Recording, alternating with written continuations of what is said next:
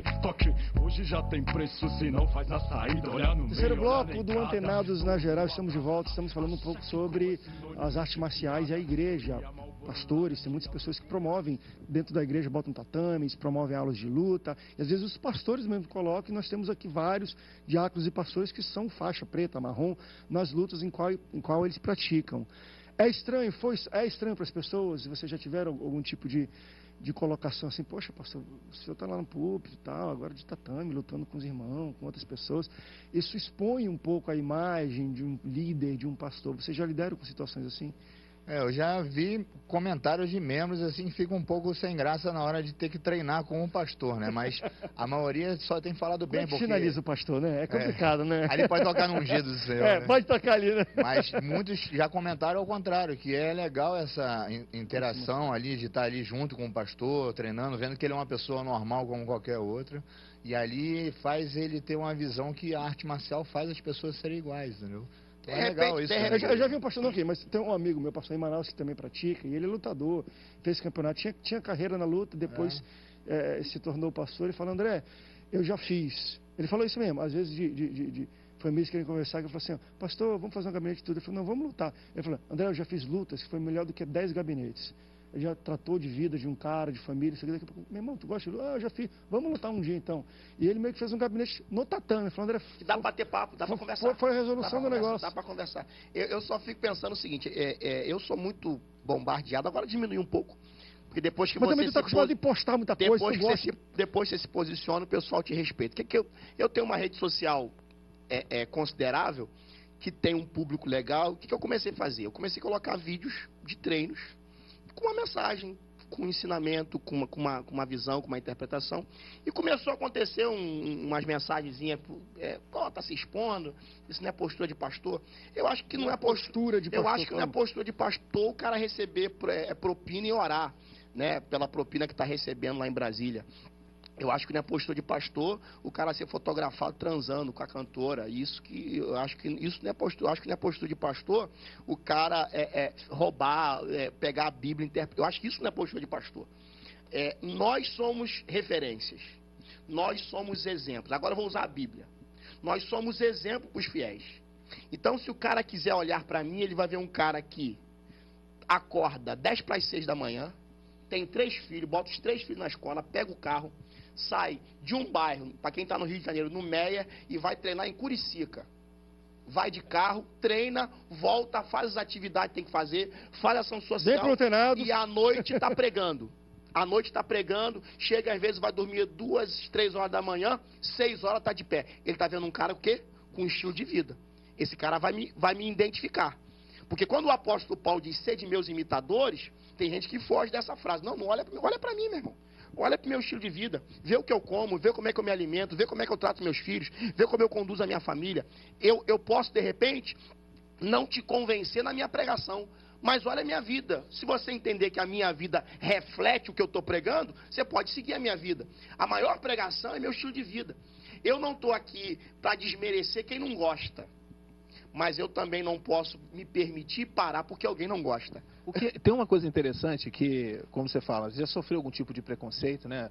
É, eu acho que, não sei se você já fez, seria interessante também você partir para um outro, para um lado que tem, tem tudo a ver também com a luta. Por exemplo, é o caso do, do pastor que luta ou, por exemplo, do pastor tatuado. Já fez algum Já programa? falei, mas é porque eu- eu- de Deveria. tatuagem, eu falei, gente, eu, eu nem debato mais sobre isso. Mas, é por exemplo, já. tem alguns, mas não é, pior que não é. Por exemplo, uma pessoa chegou lá, pra, lá, lá, no- lá na minha igreja, entrou, sentou lá na frente, lá no, na- na- lá no gabinete, e falou assim, pô, pastor, você não acha que é, é meio complicado o senhor ficar é, treinando jiu-jitsu e tal? Porque eu coloquei lá no- na, na- numa rede social também, uma competição que eu fui e tal, aí coloquei a foto lá, e você não acha complicado? A pessoa que estava do outro lado falando, você não acha meio complicado por causa da figura e tal? Se bem que lá na minha igreja, a gente, porque tudo, a igreja é o reflexo do pastor.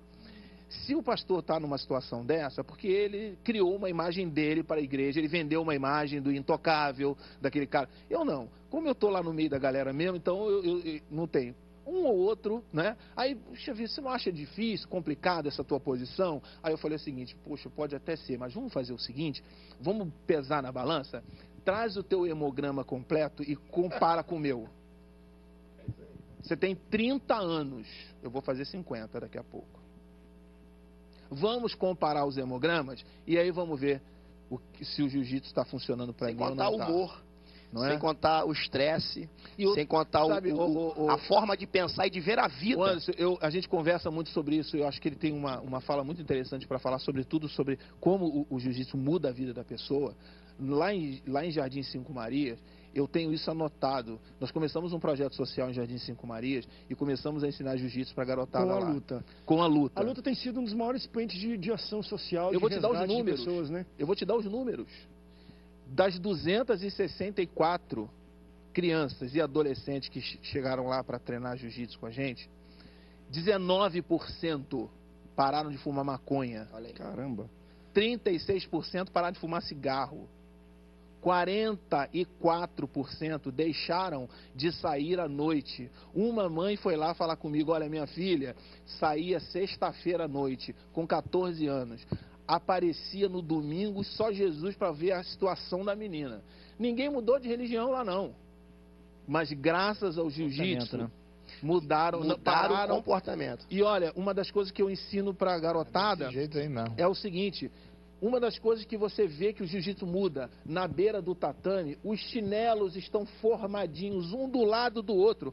Eu digo para ele: se você, quando acorda, não arrumar sua cama, você não vai ser um bom lutador. É, de doutrina, doutrina. doutrina. Isso muda me, o tudo. É a mestre, base o da mestre arte marcial. Augusto, ele tem A uma... gente aprende isso. o Eu, mestre- como, como uma pessoa É, já com uma certa idade, A base ele é- fala Você isso pra recicla, gente. né? É. Ele chama a gente no canto para falar: ó, muda isso, muda Isso aí. aquilo, muda aquilo É outro. Eu É já com a da idade que eu tenho, por que, que o menino não vai aprender? O, o mestre Augusto, ele tem uma experiência de vida bacana, André. Ele, ele teve um histórico da família dele, né? Morreu num acidente de carro, ele ficou sozinho no mundo, foi viver na rua. E o que, o que manteve ele foi to- todo o ensinamento que ele teve na época de luta. Porque ele já, ele já era um praticante, né? Eu já era faixa preta, que nem o pastor está falando, eu já era faixa preta quando teve esse acidente, né? Que eu perdi minha família toda num acidente de carro. E eu, após isso, tive problemas financeiros, que meu pai deixou alguns problemas também, que ele, ele trabalhava com coisas ilícitas e eu tive que herdar essas dívidas. Eu acabei, quando eu me vi, por incrível que pareça, já formado, faixa preta, já adulto, já, isso há 10 anos atrás. Estou com 40 anos agora, isso é quando eu tinha 30 anos de idade. Eu já era faixa preta, tanto de Muay Thai como de Jiu-Jitsu. Eu, quando me vi, eu estava morando na rua. Eu fui morador de rua. Durante um ano eu morei na Mas rua. aí não enveredou pro crime nem nada, porque Porque você. a já- arte marcial me deixou firme ali na rocha, porque eu não conhecia ainda a palavra de Deus. Eu não- ainda não era evangélico. Eu estou no evangelho tem 7, 8 anos. Quando aconteceu isso comigo, eu ainda não sonhava nem em conhecer ainda a Jesus, a palavra de Deus. Mas o que me segurou ali na rua de não fazer nada de errado foi a doutrina da arte marcial. E sabe o que eu acho fantástico? Porque, vamos lá, se a gente fala da, da questão da arte marcial, ensina humildade, com bom comportamento, disciplina, Respeitar os mais respeito fracos. ao próximo e tudo. Como pode ser ruim a Só Marcelo? falta Jesus prática. cara. Só Como falta, ser ruim? só falta André, colocar o Jesus André, pro cara ser um bom cristão. André. porque a pior coisa é o cara falar assim, sou cristão e não respeita o pai, André, e não tem Você quer ver um disciplina. detalhe Dá fantástico? raiva isso. Você Ah, quer ver um detalhe fantástico? E a gente rejeita respeitar o tatame. Cara, você não tem noção. Você não vê ninguém andando que a gente. Aquele território ali é sagrado. Tira sandália tal. Eu vejo o cara dentro de igreja, meu irmão. Botar o pé no banco da frente. Eu vejo exatamente botando Mastigando do chiclete, do banco mexendo no telefone. Olha como é que isso está beijando a namorada. Uma coisa na outra. Aí você, pô, então vocês estão adorando a- ao mestre? Não, meu irmão, a gente está aprendendo o que, que é o respeito. A gente está aprendendo. Olha o que, que o mestre Augusto falou. Ele não conhecia a Bíblia, ele não conhecia a palavra, mas não entrou para a criminalidade. E tive várias oportunidades. Então, assim, é a mesma coisa, eu sempre digo isso. Eu conheci Jesus com 19 anos de idade. Eu fui de baile. Eu comecei no- em baile funk no Rio de Janeiro, na época de encontro de massa. Mas eu casei virgem. Por, como é que pode um cara que era do mundão? Porque eu sempre pratiquei esporte. Então, os meus hormônios sempre ter voltado ao futebol, natação, na época, no auge de Bruce Lee, fazia karatê. Quem, quem não tinha um tchaco para ficar rodando o tchaco, queria fazer, botava aquelas, aquelas bases de madeira para ficar treinando. Eu sempre pratiquei esporte. Então, minha cabeça sempre foi trabalhar, estudar e praticar esporte. A nossa geração cristã é ociosa. Aí eu, como pastor, não, vai orar, vai jejuar. Meu irmão, tu desce do monte, desculpa a expressão, com tesão. Tu acaba de fazer jejum, nervoso. Cinco minutinhos no tatame, parceiro. O bichinho tá molinho. O bichinho vai pra casa, dorme. Literalmente, Literalmente. em cinco minutos, literalmente, ele tá arrasado. É, Não, mas uma coisa que assim, a- a- a- a- mas olha que legal, a gente saiu do início de um debate onde pessoas diziam que a arte marcial é inadequada para um pastor, para um ambiente de igreja. Agora a gente está falando com arte marcial como. Não que a palavra de Deus, o Evangelho, precise de, ne, de nenhuma complementação, Nunca, nunca. mas ela ajuda. espiritual. Mas quando eu falo da questão de moldar caráter, eu acho que a arte marcial é um complemento ao Evangelho, porque hoje está cheio de evangélico mau caráter. Por aí, não está não? Isso que é difícil. Então, se a gente entender que se o cara já é disciplinado, respeita o pai e a mãe, respeita o seu quê, o cara vai para a igreja, e mesmo ele não sendo crente, mas ele faz arte marcial, ele vai ter a mesma reverência para um pastor, para o local, para o banco, para tudo.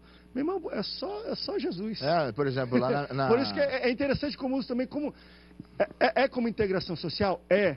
Mas como evangelismo é algo fantástico. Ah, é uma Porque se estratégia. você pegar, talvez, princípios do que a arte marcial passa e você traz para a Bíblia, é aquilo que eu falei, qualquer luta se torna pontos É uma de estratégia, é uma estratégia. Por exemplo, na minha igreja onde eu congrego, que é a IADJ do pastor Silas Malafaia Filho, que é o presidente lá.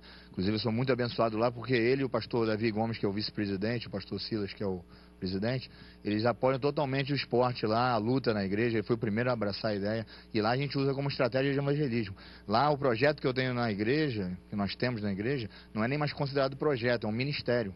Que a gente já ganhou várias almas, fomos usados para ganhar várias almas para Jesus através do jiu-jitsu. As pessoas aceitando Jesus no treino. E, se quantas pessoas, e quantas igreja, pessoas entendeu? às vezes não, não, não chegam através de um ministério, da igreja lá especificamente, mas tem gente que bate na porta da academia e que não pode pagar. E que Justamente, o professor vai lá justamente. e absorve aquela pessoa. Isso aí. Ó, eu tenho a história de um muda garoto que a gente conhe- eu conheci ele no sinal vendendo bala, eu, o pastor Davi Gomes, que é o vice-presidente lá, e eu convidei ele, 14 anos de idade, mora na cidade de Deus. Convidei ele para ir lá treinar, ele foi lá, ganhou um kimono, treina lá de graça, já mudou totalmente a doutrina, o comportamento dele, e através dele ele levou o pai dele e o avô, e o avô dele aceitou Jesus lá na igreja. Tá vendo só? Olha a estratégia. É, é meio caminho andado já. Vamos para rápido break, daqui a pouco a gente volta. Deixa eu também perguntar para você. A gente está falando só coisa boa. Existe exagero também? Vamos botar. Vocês já viram algum tipo de exagero? Quando eu falei disso que a gente postou nas redes sociais, muita gente colocou, e eu até citei aqui na minha, no texto introdutório, a Renascer, que eu acho eles fazem um trabalho fantástico. Mas eles promovem um campeonato mesmo, dentro da igreja. Monta o octógono e o bicho come lá dentro. Vocês acham que isso é exagero? Pode chegar ao exagero? André, é dentro da proposta deles, eu entendo que não. A gente não, como falou, o eu não vivo, eu não tenho um convívio do dia a dia deles para entender como, como eles se enxergam. É muito né, difícil a gente daqui olhar para lá e falar, mas vocês acham que também às vezes pode ter um pouco de exagero nesse sentido? Vamos rápido break, daqui a pouco a gente volta, não sai daí, o Antenados volta já já.